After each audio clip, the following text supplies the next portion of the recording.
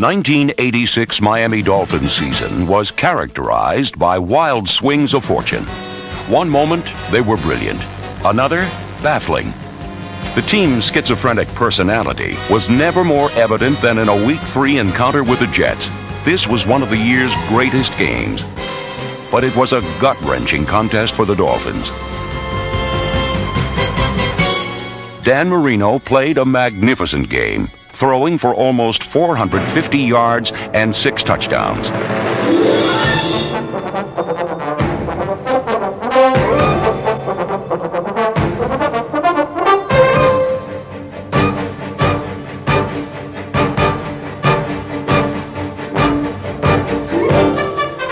From the New York 46, second down and eight. Somebody jumps. Klecko flags are down. Deep pattern. Duper down there. It for a touchdown. And I'll tell you, this is uh, this is the wild one. It's a track meet. 31 to 27 now. The teams paced each other down the stretch as the game seesawed back and forth between two combatants determined not to let victory slip away. With less than three minutes remaining in regulation, Mark Clayton put Miami ahead. But in this game, no lead was secure. With no time on the clock, the Jets forced the game into overtime. Befitting this shootout, it followed that the offense which got the ball first would also get the victory. O'Brien will play fake it. Back he goes to throw. He's going for all the marbles. Man down there. After an agonizing conclusion to a valiant performance, the Dolphins didn't know where to point their fingers or hold their heads. This was a game which typified their 1986 season, a roller coaster ride all the way. The Dolphins emerged from the darkness of an opening day defeat to notch their first win of the season, a 30 10 home victory against the Colts. Assistant coaches Shula, Sandusky, Taseff, Phillips, Studley, Matheson, Sikanovich, Westhoff, and Wade developed a masterful game plan as Miami dominated Indianapolis in every phase of its attack.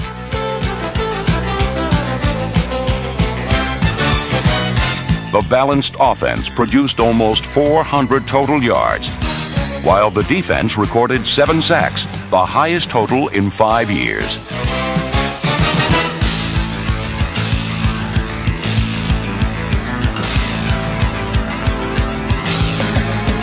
Spearheading the defense was John Offerdahl, number 56, who made his Orange Bowl debut, a memorable one.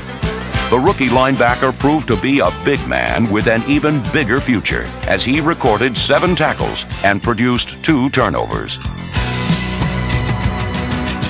Offerdahl's opportunism rubbed off on fellow rookie James Pruitt, number 82. Pruitt demonstrated he possesses what every punt return specialist needs the soul of a daredevil and the vision of a wide angle camera. Here's Stark's kick. Wobbly punt. Racing up as Pruitt grabs it, drops it, picks it up at the 31, and he's going to run to the near side. 35, 40,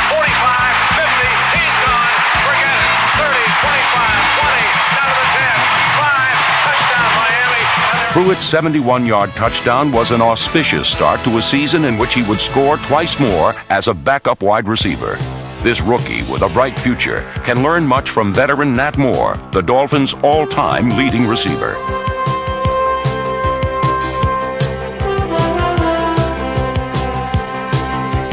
Over his 13 seasons, Moore has logged more than four miles in receiving yardage. But in 1986, the Dolphins also got great mileage out of Bruce Hardy, who produced the best season ever by a Miami tight end. While Hardy had 54 receptions, running back Tony Nathan was right behind him with 48. Adding depth to the Dolphins' receiving corps were Jim Jensen, number 11, and Dan Johnson, number 87. Dolphin receivers totaled over 4,800 yards, with half of that provided by the tandem that kept defenders spinning their wheels in frustration. A pair of Marx brothers who amused crowds with their wizardry rather than their wit. Mark Duper and Mark Clayton. We have a very friendly, competitive relationship because I think we keep each other going.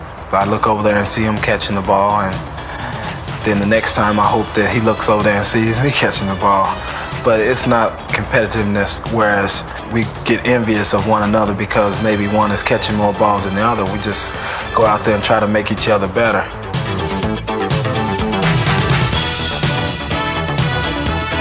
Duper surpassed Clayton's standard for 100-yard receiving games in a season by hitting the century mark eight times. This season, Duper earned his third ticket to the Pro Bowl in four years. Ironically, when forced out with an injury, he was replaced by none other than Mark Clayton, a man with his own unique approach to the game. I just go out there and just play with reckless abandon and just try to come up with the ball and make make something happen. I just play dangerous football, I guess. When Clayton reaches the danger level, he clicks on his spin cycle and hangs defenders out to dry.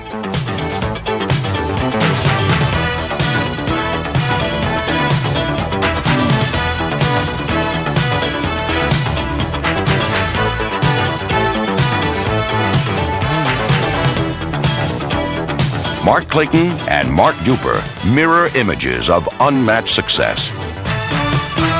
Such success is rooted in the trenches.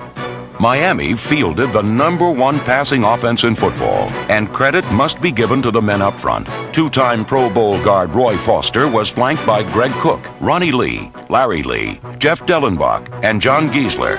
For the fifth straight year, Miami's line yielded the fewest sacks in the league, giving Dan Marino time to sit in the pocket and dissect defenses with painstaking efficiency.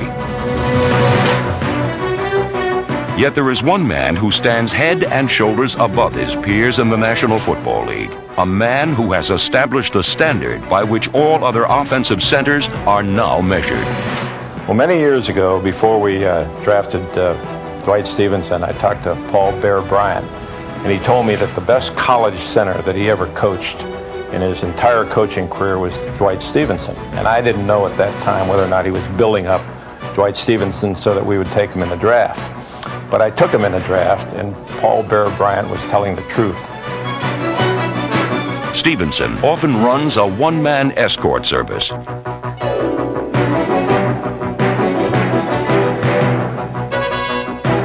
And no one values such treatment more than Dan Marino.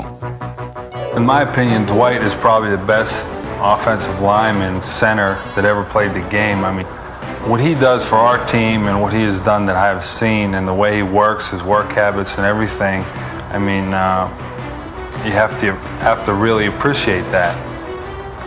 Dwight does something that most centers can't do, and which is just handling the nose guard by himself, and uh, not only block them, but then go downfield and block a linebacker too, and uh, he does it probably better than anybody else has ever done it.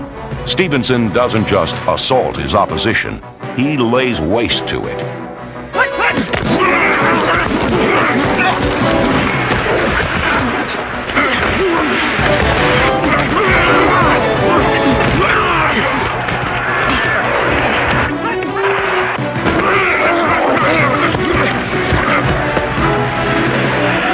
With his ability to dominate his man and demolish defensive strategies, this four time Pro Bowl selection is arguably the best of all time. Stephenson and Marino often combine to form the equivalent of a football atlas by hoisting this erratic team onto their broad shoulders and carrying them to victory. Unfortunately, as Marino goes, so go the Dolphins, and not even his heroics could thwart a three game losing streak early in the season. In a year of ups and downs, this was rock bottom for Miami, culminating with the loss of its best defensive player, Hugh Green, in week three. Mark Brown capably filled in for the injured Green, and the Dolphins boldly called on their future to help bail out their present. Accepting the challenge were rookie defensive end T.J. Turner, defensive back Reyna Thompson, number 24, and top draft pick John Offerdahl, number 56. His predecessors were men named Matheson, Buoniconti, and Duhe, but only one Miami linebacker has ever been named a starter in the Pro Bowl John Offerdahl, the Defensive Rookie of the Year. In 1986, what Marino was to the offense, Offerdahl was to the defense. In the third week of the season, Offerdahl assumed the team lead in tackles and never relinquished it, finishing with 135, 50 more than his closest teammate. Offerdahl was everywhere, proving he could do everything. Shutting down the pass one moment, stuffing the run the next. And he always made his mark on opponents a memorable one.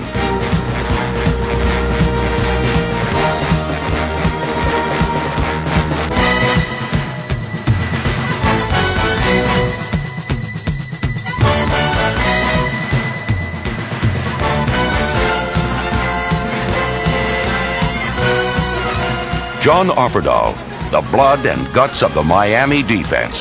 He started the year as a rookie. He ended it as a hero.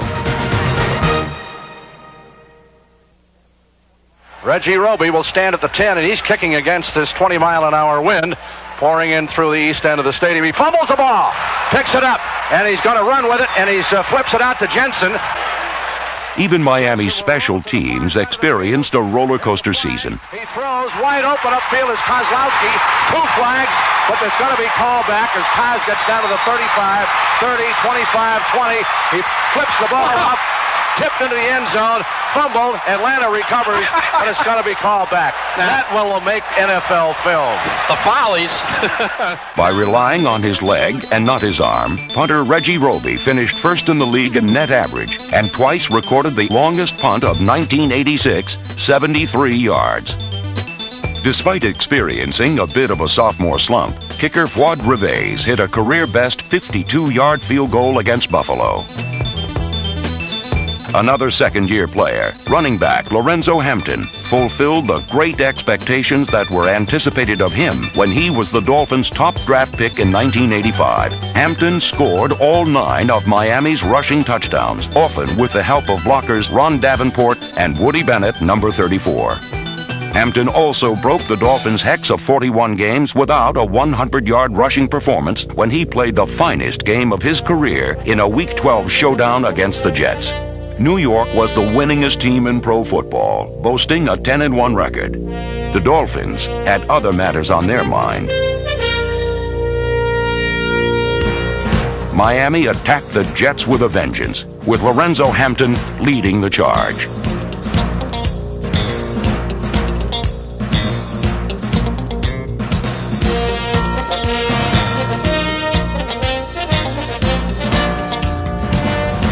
Hampton scored three touchdowns en route to gaining 148 yards rushing, part of an offensive explosion which saw the Dolphins amass 514 total yards. And there was reason to cheer the play on both sides of the ball. The Dolphin defense devoured Ken O'Brien and satisfied their craving for sweet revenge. This time around, they limited the powerful Jet offense to three points, not 51. When Don Shula watched his team put 45 points on the board once again, he could rest assured there would be a clear margin of victory. The decisive win enabled Miami to exact revenge and establish records. Marino tossed four scoring passes and became the first NFL quarterback to throw 30 or more touchdowns in three different seasons. Nat Moore also reached a milestone as he caught the 500th pass of his illustrious career. When it comes to rewriting the record books, though, the NFL's best selling author is Dan Marino. Marino led the league in completions, yards, and touchdowns for the third straight year. He also threw his 100th career touchdown in fewer games than any man in history. But those are only numbers. The fury with which he played the game made the difference, as pointed out by Will McDonough of CBS Sports. He is the best foot, uh, best football player in the league right now. To my mind, he's the best quarterback in the league, and I think if he keeps on playing the way he has played, he will get down as the best quarterback ever to play the game. Such admiration is also shared by Chicago Bears defensive lineman Dan Hampton. Probably the best offensive weapon in the league. He can make 40 yards at the flick of a wrist. I've never played against Walter Payton, but I've played against O.J. Simpson and a bunch of great players, and I've never been more impressed about any one man than I was about Dan Marino. Marino has made an indelible impression on his peers as well as on opposing coaches, such as the Broncos' Dan Reeves. It makes it tough to, to try to stop a guy that does so many things so well. He handles the blitz, I think, better than any quarterback I've ever seen. But Dan can be backing up, pressure coming at him, and he can still get some zip on the ball and get it to a receiver downfield with all the people coming at him. And I think he really hurts uh, uh, teams that blitz him more than any other quarterback in football.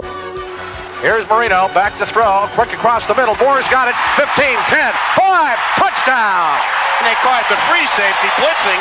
He came up the gap, but Marino with that quick release got it to Moore cutting across. Marino is an expert at reading defenses, particularly prior to the snap of the ball.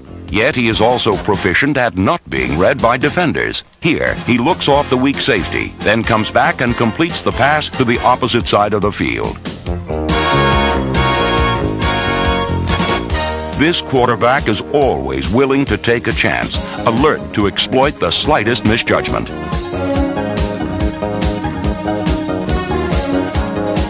Marino is an intense competitor, fueled by his emotions as much as his ability. And as fellow quarterback Don Strock knows, Marino remains a student of the game. The thing I really liked about him was that he asked questions from sun up till sundown, and he wanted to know everything that was going on, and he still does. He's a very dear friend of mine, and, and uh, one thing that I told him was, I said, I said, try to learn something new every day, not only about football, but about life itself. And uh, you can only improve as a person and a player. Indeed, Marino is human after all, and there's always room for improvement. But not much room.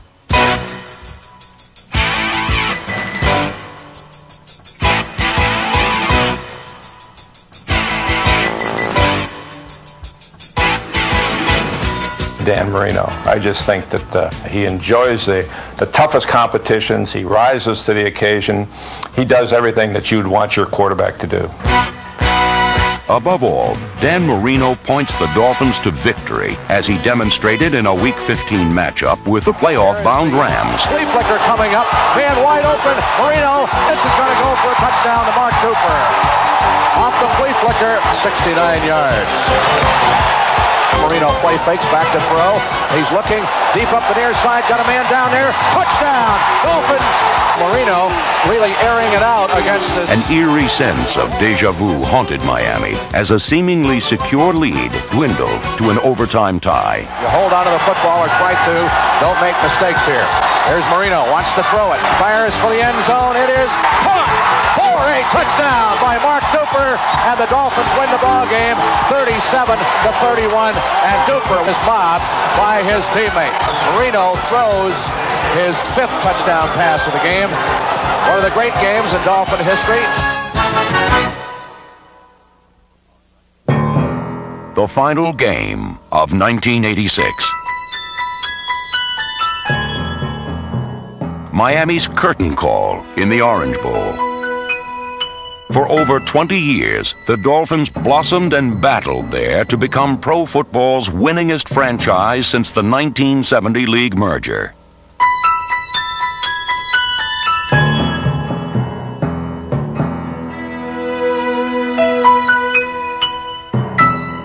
Team owner Joe Robbie watched his team play gallantly down to the wire before succumbing to a difficult defeat.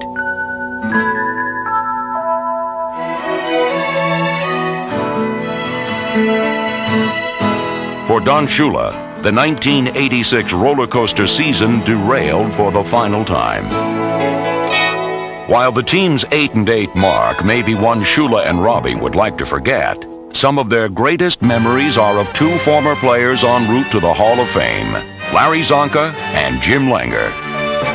Langer, number 62, began the tradition of great Miami centers which continues to this day.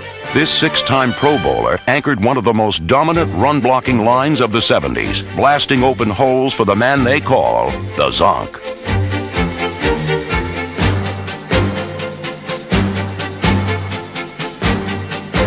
Number 39 was the epitome of a power fullback. He was four yards and a cloud of bodies, the leading rusher in team history.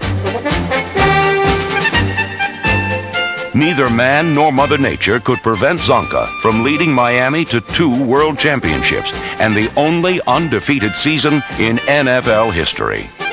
It is ironic that two of the cornerstones of this proud franchise are entering the Hall of Fame as the team prepares to leave the site of their past glories. Yet it is not the end of an era, but rather the dawn of a new one. For Miami will launch the 1987 season in a new home. Dolphin Stadium, a dream come true for Joe Robbie.